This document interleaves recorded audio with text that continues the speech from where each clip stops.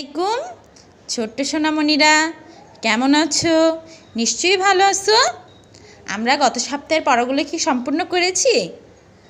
হ্যাঁ আশা করি সবগুলো পড়া তোমরা সম্পূর্ণ করেছ। ইংরেজি কি আমরা এ থেকে যে পর্যন্ত শিখে ফেলেছি, ঠিক না? আমরা কিন্তু এই সপ্তাহে এ থেকে যে পর্যন্ত বাইকাস করে জমা দিয়েছিলাম। ঠিক আছে? তো আমরা যেহেতু এ থেকে যে পর্যন্ত আমাদের ওগুলো ছিল capital letter. Capital letter A থেকে যে পর্যন্ত আমরা যেহেতু শিখে ফেলেছি, তা আজকে আমরা শিখব স্মল লেটার স্মল লেটারগুলো আজকে আমরা শিখব এ বি সি তো চলো আমরা স্মল লেটার লেখা শিখি। এখানে আমরা কিছু বর্ণ দেখতে পাচ্ছি? হ্যাঁ এই বর্ণগুলোকে বলে স্মল লেটার কি বলে? এই বর্ণগুলোর নাম কি বলো তো স্মল লেটার বলে স্মল লেটার তো স্মল লেটারে এটা কি বলতে পারবা? এটা হচ্ছে এ এটা হচ্ছে স্মল লেটারের এ এটা হচ্ছে স্মল লেটারের বি আর এটা হচ্ছে স্মল লেটারের সি আমরা কিন্তু এ বি সি আগেও পড়েছি, তো সেগুলো আমাদের অন্যরকম ছিল, আর এগুলো আমাদের অন্যরকম। কারণ ওগুলো ছিল ক্যাপিটাল লেটার আর এটা হচ্ছে স্মল লেটার তো স্মল লেটার কীভাবে লিখব দেখো?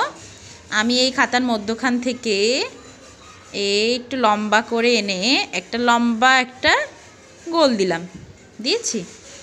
দিয়ে এই পাশে এইভাবে দিব এটা আমার এ তারপর আমরা বি লিখব। বি লেখার জন্য এই খাতার এখান থেকে, খাতার একদম এখান থেকে নিচ পর্যন্ত একটা দাগ দিব। দিয়ে এখান থেকে এখানে উঠাবো। এটা হচ্ছে স্মল লেটার বি সিটা ঠিক আগের মতনই, শুধু একটু ছোট করে লিখতে হবে। এটা হচ্ছে সি ঠিক আছে? চলো আবার এ লিখি আমরা। এইভাবে দিয়ে এইভাবে এ বি লেখার জন্য এখান থেকে এখানে পর্যন্ত নামাইতে হবে। এইখানে এতটুকু উঠাইতে হবে। বি, সি লিখতে হবে ছোট করে। ঠিক আছে? তাহলে আমরা আজকে কী শিখলাম? স্মল লেটারের এ বি সি বলো। A B C A B C আবার বলো। A B C A B C very good তাহলে আমরা আগামী ক্লাসে small letter A B C সম্পূর্ণ বীজটা বাড়ি কাজ করব। তাহলে ম্যাডামের ক্লাস ম্যাডাম এখনই শেষ করছি।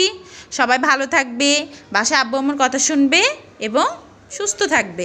আল্লাহ হাফেজ।